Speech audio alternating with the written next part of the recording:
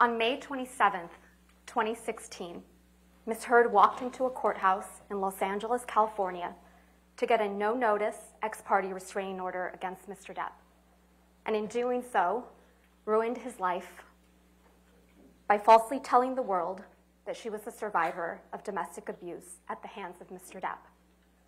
Today, on May 27th, 2022, exactly six years later, we ask you to give Mr. Depp his life back by telling the world that Mr. Depp is not the abuser Ms. Heard said he is, and hold Ms. Heard accountable for her lies.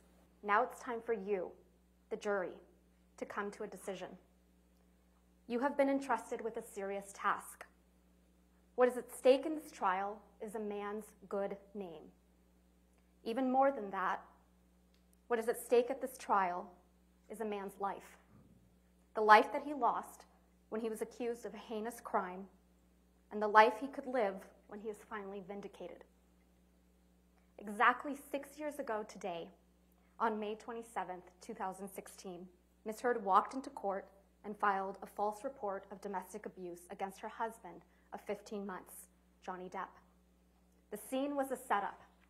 She tipped off the paparazzi so they would be waiting. They knew exactly where she would pause, which side of her face to photograph. And the photos captured what she wanted them to see the image of a battered woman. What the paparazzi did not know is that the dark mark on her face mysteriously appeared six days after last seeing Mr. Depp. It was a lie. She knew it, Mr. Depp knew it, and the multiple witnesses you heard from who saw her that week of May 21st, 2016, also knew it. But the world only saw what she wanted them to see. Two years later, when promoting the biggest role of her career, until this trial, Ms. Heard presented herself to the world as a public figure representing domestic abuse. The headline of the op ed featured the term sexual violence, even though she had never before accused her ex husband of such a heinous crime. Ms. Heard and her lawyers love to remind you of how the op ed did not mention Mr. Depp by name but Ms. Heard made sure that there would be no mistake about who she was referring to. She inserted, two years ago, so the world would remember the photo of a battered woman, the mark on her face, standing outside the courthouse, and they would once again see Mr. Depp as the villain, this time in full swing of the Me Too movement. But what was happening behind closed doors was quite different from what Ms. Heard presented to the world. The exact opposite, in fact. There is, a, there is an abuser in this courtroom, but it is not Mr. Depp. And there is a victim of domestic abuse in this courtroom, but it is not Ms. Heard. The evidence presented at this trial has shown that Ms. Heard is in fact the abuser, and Mr. Depp the abused. As you heard from Mr. Depp and multiple other witnesses that testified under oath at this trial, Mr. Depp experienced persistent verbal, physical, and emotional abuse by Ms. Heard during their relationship. You heard from Mr. Depp about how often Ms. Heard would berate him, insult him, and physically attack him, including one of the most serious occasions when Ms. Heard threw a vodka bottle at Mr. Depp, severely injuring his finger, and then put a cigarette out on his face. You heard from Mr. Depp that this whole incident in Australia started because Ms. Heard was enraged that Mr. Depp wanted a post nuptial agreement and she wasn't in his will, just a month after getting married. You also heard from Tara Roberts, a manager at Mr. Depp's Island, who witnessed Miss Heard telling Mr. Depp that he was washed up and would die fat and lonely. You also heard from Miss Roberts that she witnessed Miss Heard clawing and grabbing at Mr. Depp, grabbing his hair, trying to pull him back to her, and Mr. Depp had a visible injury to his nose on that occasion. Most importantly, you heard from Ms. Heard yourselves on multiple audio recordings admitting to being physically violent with Mr. Depp. What you didn't hear on a single recording you heard in this case, and there were many played by both parties, is Mr. Depp ever admitting to hitting, punching, or kicking Ms. Heard. You didn't hear it. It doesn't exist. It didn't happen.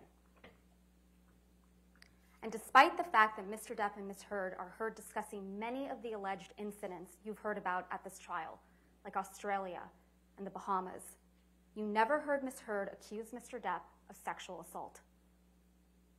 Unlike Mr. Depp, who you heard admit to and own up to his past mistakes and his struggles, particularly with drugs and alcohol, Ms. Heard will not admit that she has never do- that she has ever done anything wrong. But she cannot deny what you heard on those recordings. As much as Ms. Heard and her lawyers have tried to make this case about Mr. Depp's language, it is Ms. Heard that repeatedly admits to violence. When you catch Ms. Heard in a lie, she tries to cover it up with more lies. So let's talk about the giant lie at the heart of this case. Ms. Heard's claim that Mr. Depp is an abusive monster and that she is a public figure representing domestic abuse. She spun a story of shocking, overwhelming, brutal abuse. She came into this courtroom prepared to give the performance of her life, and she gave it. Ms. Heard, Ms. Heard's acting coach, Kristina Sexton, testified that Ms. Heard has difficulty crying when she is acting. You saw it. Ms. Heard sobbing without tears, while spinning elaborate, exaggerated, fantastical accounts of abuse and everything going on in her mind almost a decade prior while enduring that abuse. It was a performance.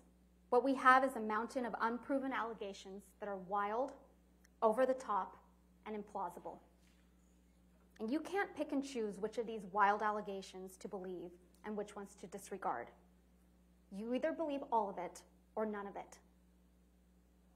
Either Mr. Depp sexually assaulted Miss Heard with a bottle in Australia, or Miss Heard got up on that stand in front of all of you and made up that horrific tale of abuse. Either she's a victim of truly horrific abuse, or she is a woman who is willing to say absolutely anything. But this case doesn't come down to whether you believe Miss Heard or you believe Mr. Depp.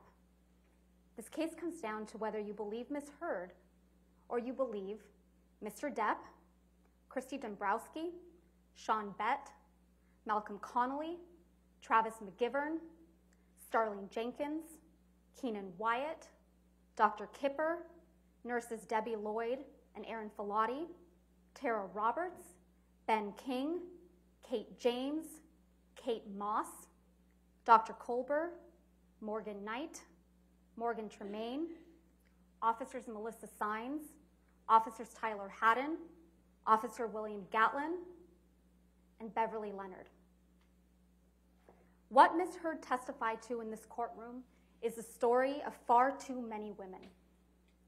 But the overwhelming evidence and weight of that evidence shows that it's not her story. It's not Ms. Heard's story. It was an act of profound cruelty, not just to Mr. Depp, but to true survivors of domestic abuse. For Ms. Heard to hold herself out as a public figure representing domestic abuse. It was false, it was defamatory, and it caused irreparable harm. And to talk more about that, I'm going to turn it over to my colleague and my friend, Mr. Chew. As Ms. Vasquez said, you have now come to know the real Amber Heard. Scary. We also told you at the start of this trial that you were going to come to know the real Johnny Depp, not the many characters you've seen him play so wonderfully in the movies, but the man himself. We kept that promise. You've met the real Johnny Depp. Before Amber Heard, ladies and gentlemen, no woman ever, no woman ever before Amber Heard ever claimed that Mr. Depp raised a hand to her in his 58 years. And no other woman since Ms. Heard made that false claim back on May 17, May 27th, 2016, has and repeated it in her December 2018 op-ed. Has any woman come forward since? This is Me Too without any Me Too. To the contrary, ladies and gentlemen, you heard Kate Moss two days ago testify This is a woman who has never testified in any proceeding ever, a very private person, testified that Mr. Depp never abused her and that Ms. Heard lied to you. And she lied to you twice. Beyond the personal and emotional effects of Ms. Heard's lies, their impact on Mr. Depp and his family, the damage she inflicted on his reputation and career is un- undeniable. There's an old saying that a good reputation takes a lifetime to build, but only a second to destroy.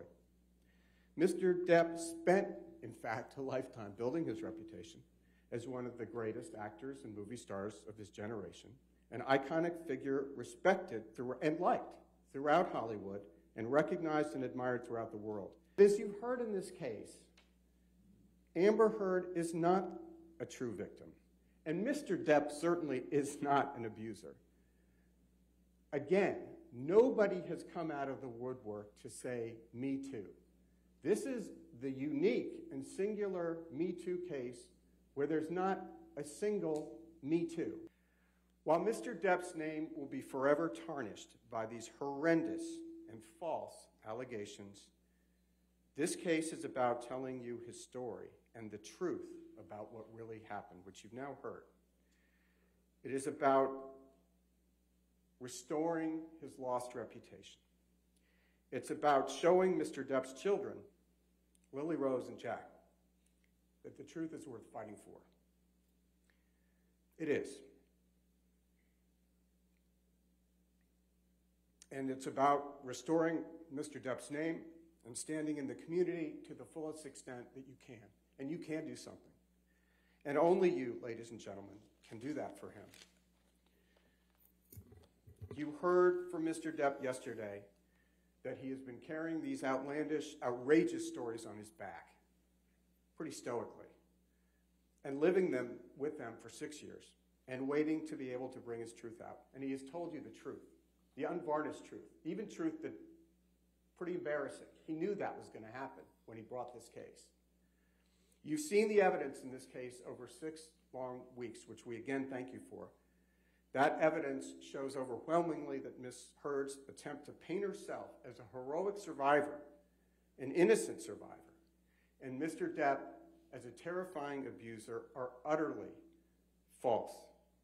We ask you to please return your verdict for Mr. Depp. We ask you, we implore you to give him his name, his reputation, and his career back. Thank you very much, ladies and gentlemen.